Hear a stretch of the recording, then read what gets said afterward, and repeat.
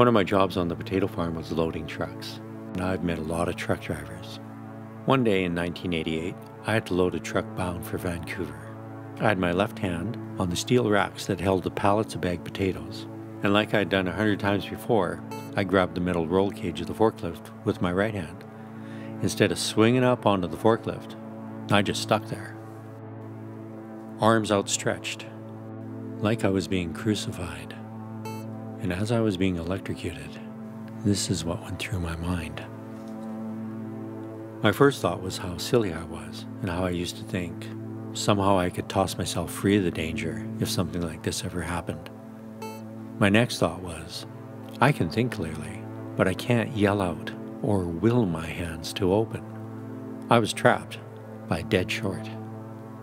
I suddenly became aware of an intense, violent vibration creeping up my left arm. It was already halfway up my forearm, and I knew instinctively that when it reached my heart, I was going to die. The vibration passed my elbow. At this point, I wasn't afraid. I was far beyond fear. When you go beyond terrified, I'd actually say it feels kind of peaceful.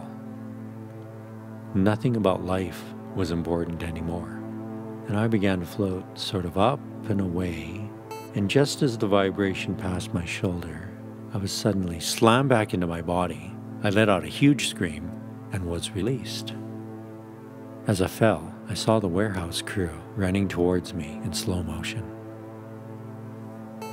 A few years earlier, I had shot a music video for my song My Time, where they put me in an electric chair and they execute me in a dream sequence. I got fan mail from guys in prison for that video. That was a complete surprise, completely unexpected, and to be honest, I felt a little bit like Johnny Cash. Anyhow, I had no idea that I'd be electrocuted for real one day. And I was electrocuted with more current than they use in an actual execution electric chair, which I'm told uses about 12 amps. A regular household circuit is 15 amps. Forklift battery charger uses a lot of current. I survived because I had blown a 60 amp slow blow fuse. I'll never forget how that felt.